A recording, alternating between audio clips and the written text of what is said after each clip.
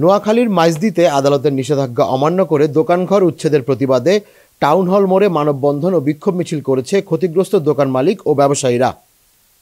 নোয়াখালী প্রতিনিধি হোসেন আহমেদ জানান মঙ্গলবার সকালে ঘণ্টাব্যাপী মানববন্ধনে কয়েকশো ব্যবসায়ী অংশগ্রহণ করেন। পরে ব্যবসায়ীরা শহরের প্রধান সড়কে বিক্ষোভ মিছিল করে নোয়াখালী পৌরসভার মেয়র ও জেলা প্রশাসক বরাবর তাদের লিখিত অভিযোগ জানান। এ সময় ক্ষতিগ্রস্ত ব্যবসায়ীদের পক্ষ থেকে বক্তব্য রাখেন মাহবুবুল আলম খোকন সহ বিভিন্ন নেতৃবৃন্দ। সুপ্রিম আছে। এই অত্যন্ত খারাপ আচরণ করছে।